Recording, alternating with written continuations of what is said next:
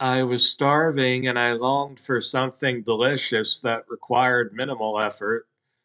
Also, the local McDonald's had been closed down by foreigners spraying it with COVID 19. I scanned my freezer. I didn't feel like hot dogs or La Saga. I polished off the last Swanson Salisbury steak the previous night.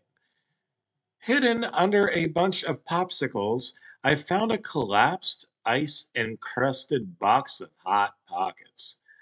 I opened it up and found one straggler inside. I felt like I'd won the lottery. Of course, Hot Pockets are made by Nestle, who uses human slave labor, but anyway. I removed the plastic wrapping and held it up to my nose. Even frozen, it smelled good like a hug from Granny. I grabbed a Dr. Pepper from the fridge and determined that this was the ideal meal for a sophisticated gentleman such as myself.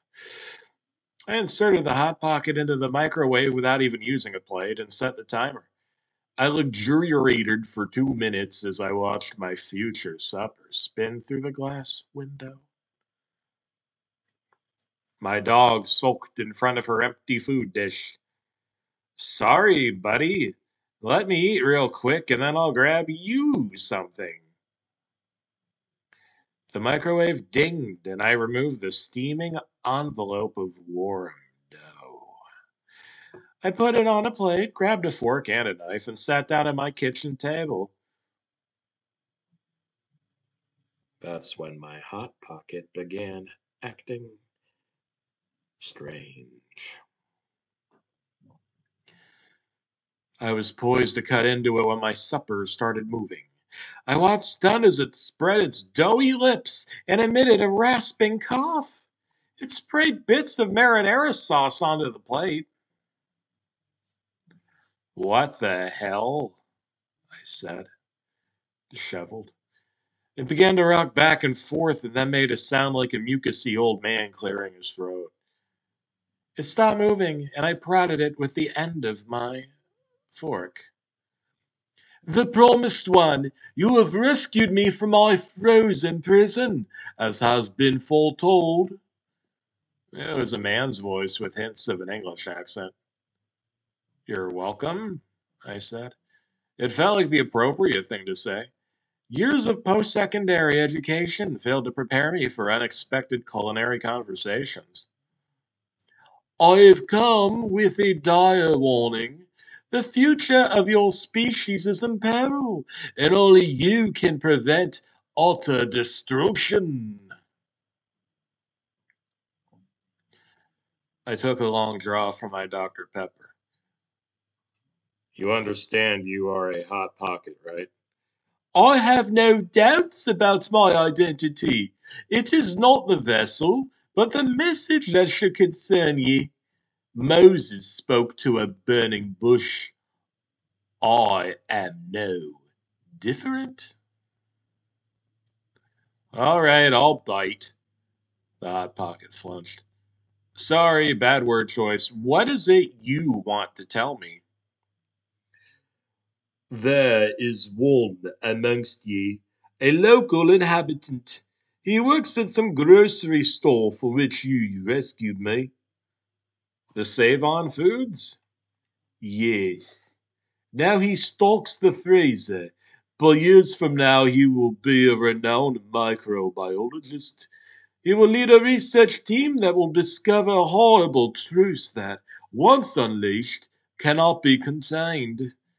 His discovery will result in worldwide epidemics of smallpox, Ebola, and the Black Plague.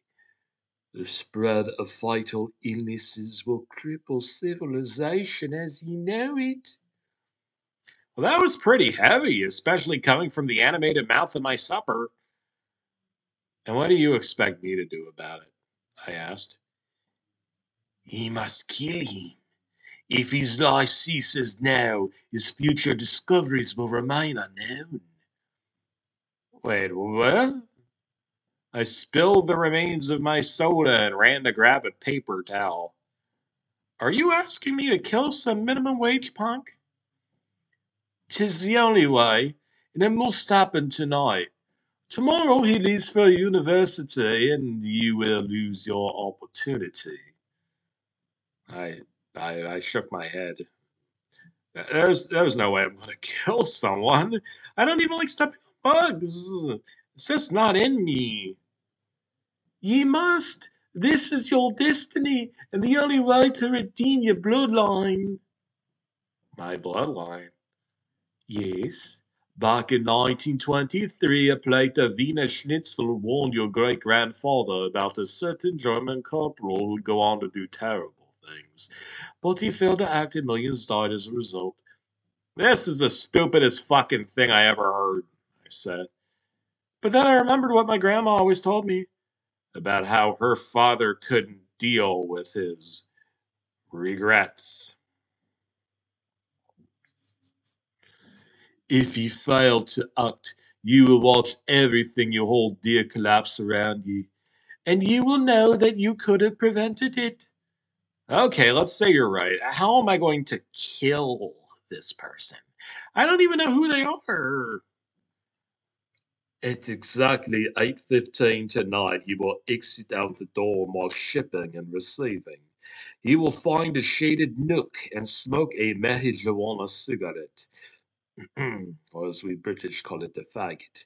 This is when you will strike. My mind reeled. I didn't have it in me. Certainly, there were times that I'd wish certain people would die, but never in a million years did I expect to be the agent of their destruction. However, if what the Hot Pocket said was indeed true, then I could save the world. This was a lot to take in at once. Won't the police come after me? I asked.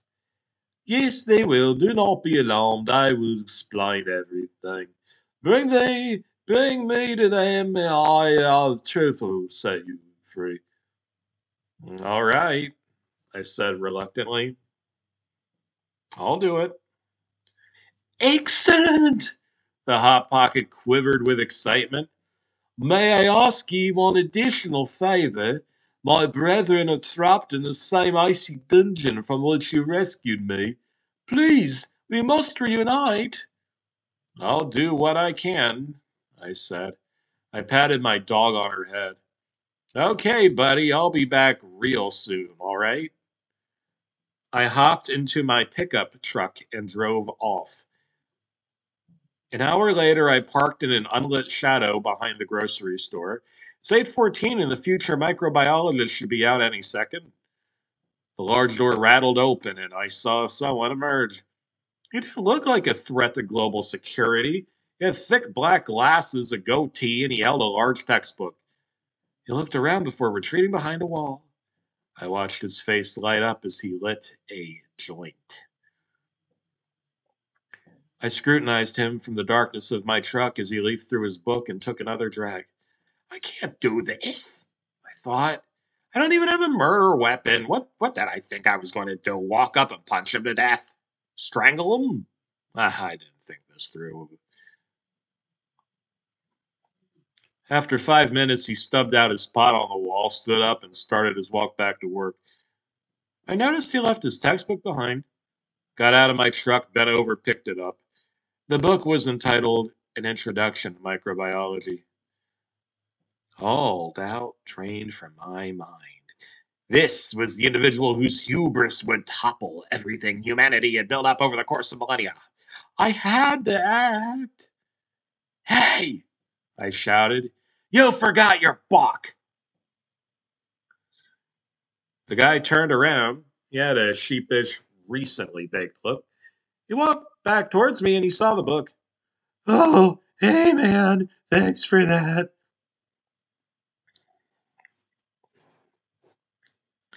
Then I bashed his brains in. Uh, the book was four inches thick and had to weigh ten pounds. Felt like I was swinging a rectangular sledgehammer.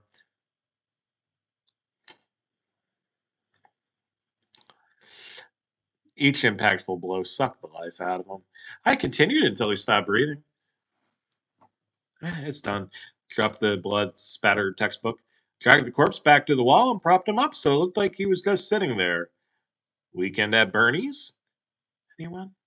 On my way back to the truck, I, I remembered the Talking Hot Pockets request. Still had to rescue his fellow Hot Pockets. So I parked in front of the grocery store and bought every single box they had.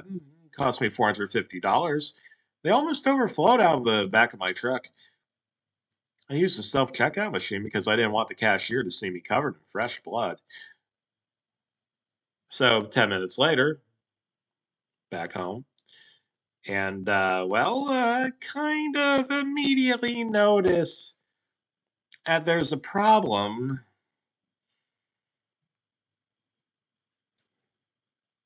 The talking hot pocket is missing. I frantically scan the kitchen.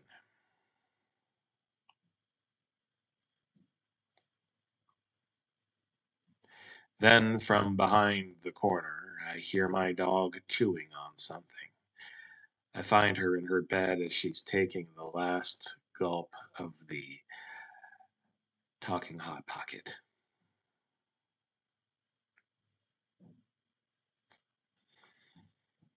If only I had fed her. Oh shit, I said. That hot pocket was my literal get out of jail free card. I needed that talkative frozen pastry to tell the police I wasn't some deranged killer. This was a major complication. Wait, the other hot pockets. If I cook them up, maybe they could speak on his behalf. I returned to my truck, and over the course of a dozen trips, I hauled every box into my kitchen. Then I start cooking them up. Microwave, toaster oven, conventional oven, I use them all. After three hours, I had hundreds of Hot Pockets scattered all around my home, on plates, on shelves, on tables, and on the floor.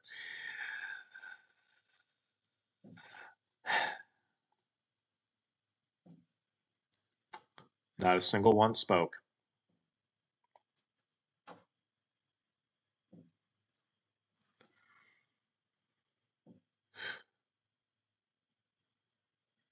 That's when I heard a loud rapping at the front door. I looked out the kitchen window and I saw the telltale blue and red lights of the police. It was too late. I was screwed. Worst of all, I was still starving.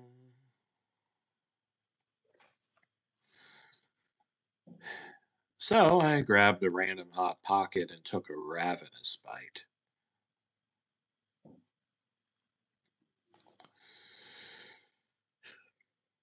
It was cold in the middle and started crying.